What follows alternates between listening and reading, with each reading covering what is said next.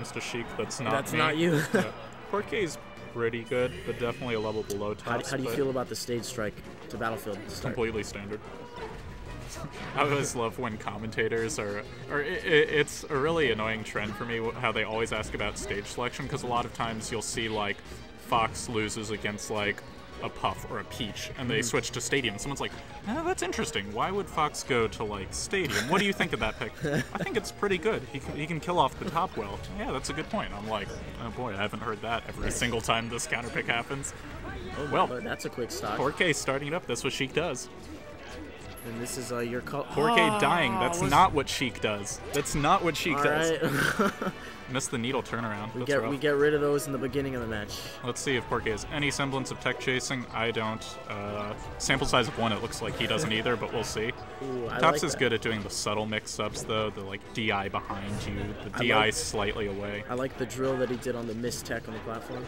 Oh, he's been doing that to me a lot recently. It's really annoying. The uh, it's good. It's it's like a jab reset Yeah. a- and, damage, and just like it covers uh, tech in place too. I Ooh, think. that, that that started with a cross up dair, hit him with the last hit. Oh, he could have just uh, held the whole time, just like waited and then rolled. There's no hitbox when Sheik comes down. Okay, solid, solid stock for tops. Yo, Josh, who won your set, or what was your set? Two. Against. Okay, yeah.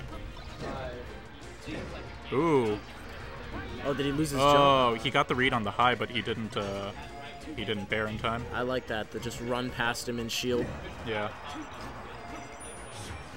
Oh, I hate when that happens. I do that all the time. That would have been an even game. Let's see if he can still close it out without taking too much damage. He's gonna be looking for what a grab or like a down smash. Yeah. Oh, up tops doesn't get the wave dash out of shield punish. Can tech that? Yeah, I'm gonna put this down as a minimal tech chasing. Not that my tech chasing sucks too, so it's like, Oh, that was a good spot dodge on the after the jab. wait, tops is gonna be warmed up if he has to play me in semis now. That's fine.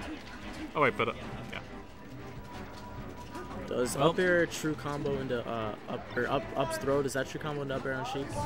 Uh, Not really. yeah. Uh, it depends of. on the percent. Uh, it usually yes. There's like you can make it harder for them with DI, and you can smash DI the up air, but pretty much. Uh, good fair grab. Okay. Good tech chase. If you don't go for the I- grab, just dash I, attack. th- I thought he was gonna jump up and just fair him out of that. That was Oh. actually great. Oh, He covered uh, he covered all options with that fair, Yeah. and then he continued to get the dat the jump cancel grab. Oh, the down tilt, the double down tilt was really nice DI mix up. He just, there we go. Okay, it was a close game. So Scott's got to be sure not to Oh, use his boy. like he's been using his. It's jump- happening. This is where the tech chasing comes out. He, He- can't. The DI behind is so hard to cover. He's He's so been- bad at it. He's been using his jump kind of early when he's gotten off stage. So yeah, that's if, that's punishable. yeah, let's see if that uh, that happens. He rolls right into the grab. He actually hits the tech chase. That's more than I do. Auto cancel fair, very subtle. Tops waits and shield. That's that's game. Ooh. poor Kyle. There were doubters. There were doubters. Just throwing. Good tops you got. Rally attack. He's getting the music out. There were doubters, Jared. If this was a like a like a documentary, this is where you start playing like some nice hype music, whatever's going on in his headphones. Just tops went down to an early first loss, and then he will try. the combo video montage starts up, with him just destroying him the next two games. He later won 2-0 on the run back. Oh boy.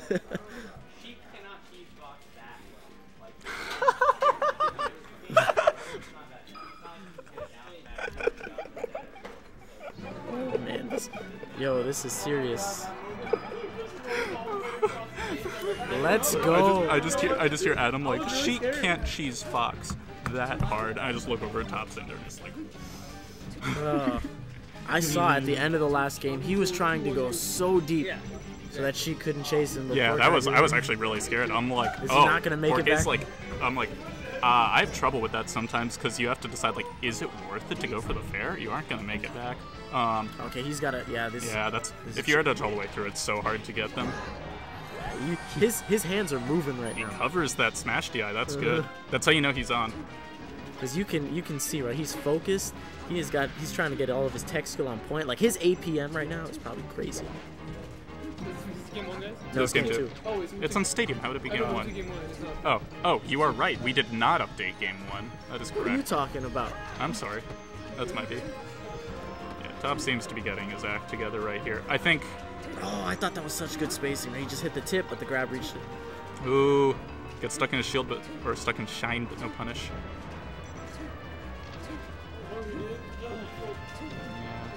You can you can punish that with wave dash backwards out of shield, but he, he just went for the full hop. So I think you know if I was Porkaye, the the goal right now, right, is try not to match Tops's pace. Right, I think that you're you're Yeah. trying to play at a slower pace while he's you know pressing all these buttons around you. You're kind of waiting for him to make a mistake. Okay, interesting. That covers the. Ooh. Oh, that was good. Unsafe F tilt on shield. I don't think not That enough. tilt's not great in close quarter situations because even if, other than shield, just crouch cancel is so strong. Best you can hope for is you catch them starting a jump. There we go. Oh, Porkaye hits another smash DI. He seems to have that on deck. So we see this three times in a row that Porkaye has done a late aerial right before he lands on the ground. So I'm, Yeah. I'm curious to see if Tops has picked up on that. Yeah. Porkaye seemed to be covering high a lot on these edge guards. Tops usually goes low. He got caught going high a few times. I think if he starts going low again, uh, we'll see if Porkaye adapts or not. Or beard. Okay. Porkaye with a little triple scoot back. Yeah, that was kind of like a, a hail mary down smash. Oh, There we what a grab! Misses the follow up, but he's uh, he's in a pretty pretty solid position. A very solid position. So we see he was trying to space him out with back air, but you so Tops did pick up on that. Those late aerials at the end, he waited for him to do that, punished him out of the lag with the up smash. Yeah, so I think Tops was just thinking like, yeah, it's like my first round of the tournament. Like, it shouldn't be bad. Just gonna go in and like, you know, just like beat them. He gets caught, caught off guard, and so he's like, okay, gotta go get the music and go like try hard mode now. I think Tops, I think he's lost game one several times to like lower ranked players, but he's good at bringing it back. He's also good at bustering, but he's good at bringing it back too. Ooh, wave dash is in right underneath that. I think Porkaye's looking a little lost. He's uh, uh he's like been trying to get away and rolling a bunch in close quarters, and Tops has just been kind of running circles around him. Yeah, I mean, He's not really finding any way in. ooh, He's kind of just moving around it. Uh, it doesn't look like he's really trying to get in. It doesn't really look like he's really waiting to punish what Tops is doing, because Tops is just all around him. yeah. So what would you say is probably like the next two best stages that Sheik could play Fox on? Well, Fountain was just banned. Honestly, I have half a mind to take him back to Battlefield here, except he can't. Dave's stupid rule. Um, if you like big stages, Dreamland. If not, uh, no, I'd take him to Dreamland. Dreamland. yeah. Yeah. Although sometimes, even though Story is like Fox favored in Yeah. the matchup, in quotes, I think Story can be a decent stage for Sheik. Um, especially against a Fox like Tops, I've actually had really good success on Story Yeah. because uh, so Tops he goes by the ledge too much, he dies. Uh-huh. If I just stay by the ledge enough, he'll die. But on Dreamland, there's not that much. Not that much of the stage is near the ledge. Yeah, I, I Um, can see what you're saying. story, you're you're always like one hit away from them being at the edge and two hits away from them being off stage. and even though you die off the top super fast, even though Fox can be oppressive, even though he has Randall to help recover, although you have Randall too. Yeah. Oh, update score, yeah. Uh, I think just having the ability to have the edge like right there for you at all times. Yes, we just did. Oh, that's an okay. I thought that was an up smash, but I guess not. Having the ledge right there for you at the story all the time, so you can do stuff like this. So this is this is I don't know if it's just me. I think Tops is playing way too close to the ledge. Oh, very much so. Like I think he needs to back off. He does not need to be that close. yeah. The story, you can just always get them there. Um, that's how you that's how you take stocks early from Fox. Especially because if you're gonna get cheesed, it's gonna happen if you play at the ledge. That said, Dreamland is good for like he lived that uh, up smasher up air there. Oh, that was a great shine. He came in with I don't know if that was a dash grab or a boost grab, but caught him just at the nick of time when his invincibility was ending.